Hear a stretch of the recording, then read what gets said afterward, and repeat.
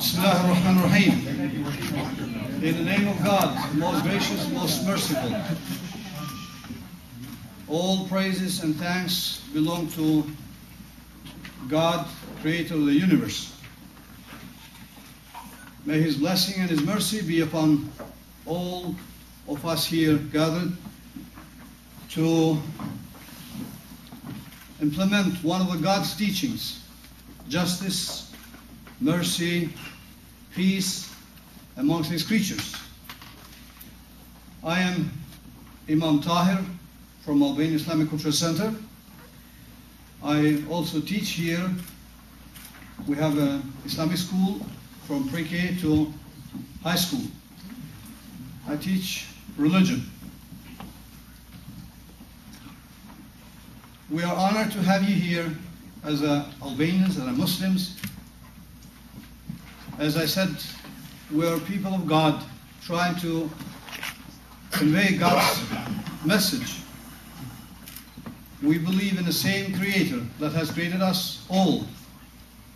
Yet our roads to Him are different. But He's our own objective. That's where we aim. God bless your efforts for coming here.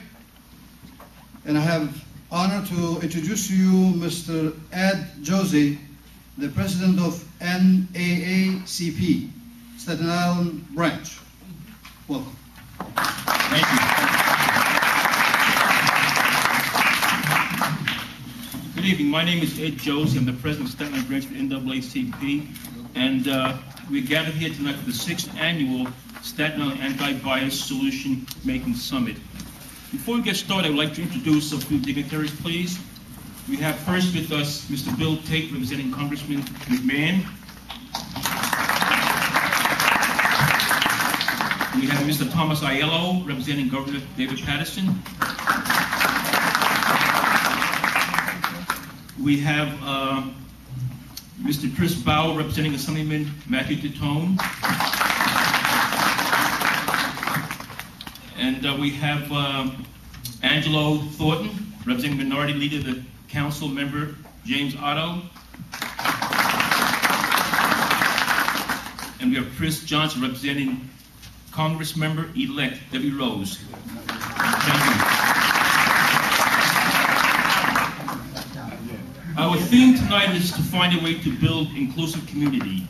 We invite you to be a part of this evening's program as an active participant, asking questions, offering opinions, engaging in our workshop. We need to create a community that cares pro- proactively, not just communities that respond when things go bad. Tonight, we will begin to build out such a community. It is my privilege to introduce to you the keynote speaker, Commissioner Galen Kirkland of the New York, New York State Human Rights Commission. Commissioner Kirkland has a long history of civil rights activities and goes way back before many of you were born. Tonight, he will address us from his role as state statesman and as a person who sees to it that justice is done when hatred and bigotry enter our communities. We listen with open hearts as we welcome our guest speaker, Mr. Kirkland, please. Thank you very much for that introduction. Good evening, everybody. Good evening. Good Um, I want to thank uh, Project Hospitality and Reverend Terry Troia for giving me this opportunity to share, some thoughts with you this evening.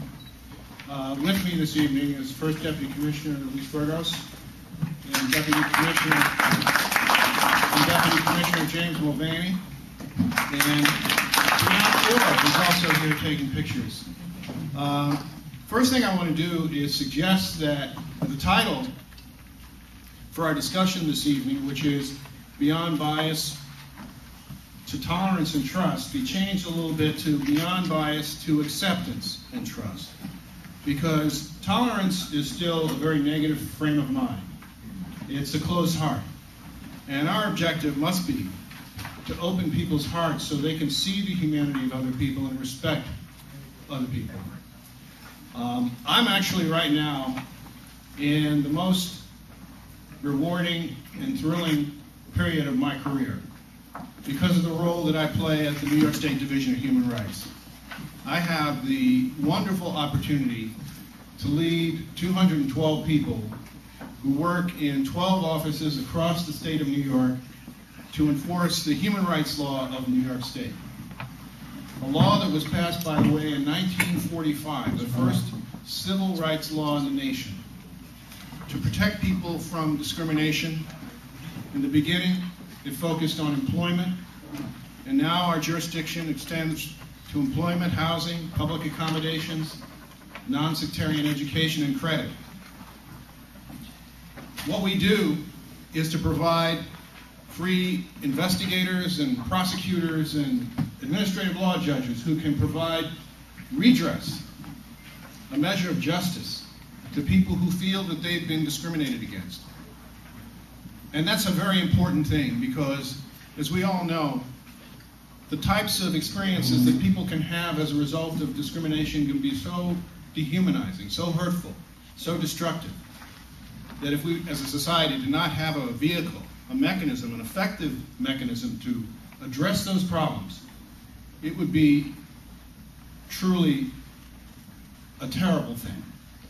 And so we feel very strongly at the Human Rights Commission, division rather, that we play a vital role in protecting the interests of the people of New York State. Now, in addition to responding to individual complaints, we have the authority under the human rights law to bring our own complaints and investigations if we see discrimination. And we also, because the statute empowers us to promote programs around the state that support human rights, to give everybody an opportunity to fully participate in the economic, cultural, and intellectual life of New York, because of that mandate, we are charged with helping communities to pull together and to make it possible for human rights to be respected. Um, in addition to the work that we do to help communities, we have to respond to hate crimes in various parts of the state. That's one of the most difficult roles that we play. Unfortunately, over the past year, since November 8th, we've spent many days in Patchogue, Long Island, uh, a place where a man named Marcelo Lucero was murdered on November 8th by a young group of teenagers who had, it turns out, a practice, a habit of hunting Latinos in that area and assaulting them. On that night, he was stabbed to death. And so, in addition to standing up with the good people of that region to denounce bigotry and hate and violence, we also began to work immediately with a multiracial group, a multi-ethnic group, a group of people from different religions, to put together strategies to prevent a reoccurrence of that type of tragedy. And we've been to Syracuse too, where Lateisha Green was murdered because of the fact that somebody objected to her sexual orientation. And so that's another thing that we do. But we're not just reactive, we're also very interested and committed to preventive strategies. We've initiated a school based program to help young people learn in high schools and in middle school in New York State to learn about the human rights law and to give them an opportunity to be leaders in their school communities to fight against violence and abuse, the violation of human dignity. And so this evening, I really relish this opportunity to talk the nuts and bolts, to talk about what we can practically do to create a humane society, to make it possible for everyone to be respected,